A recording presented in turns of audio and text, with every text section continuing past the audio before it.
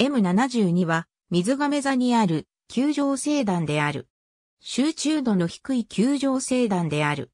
2013年に49個の変更性が確認されている。口径 5cm の望遠鏡では小さく丸い。10cm では円形の星雲状に見え、無構造で濃淡も見えない。マラスは口径 10cm の望遠鏡でザラザラになっている様子を観察している。口径 20cm でようやくブツブツがわずかに星に見えてくる。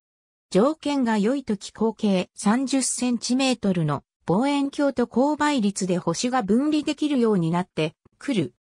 1780年8月29日から30日にかけてピエール・メシャンによって発見され、同年10月にシャルル・メシエが確認の上、カタログに記載した。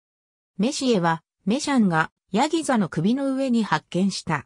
先立つ M71 と同じくらい、かすかに見える。とした。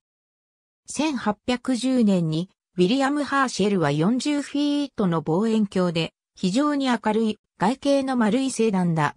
中心から離れてほの星が巻かれている。中心部はひどく密集しているが、よく注意すれば星が見えてくる。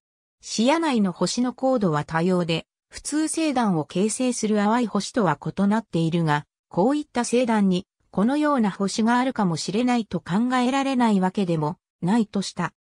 スミスは、ほの星が集まる、球状星団。視野に多くの星が見られ、星団に接して1体の銃声が続く。南7に M73 があるとした。ありがとうございます。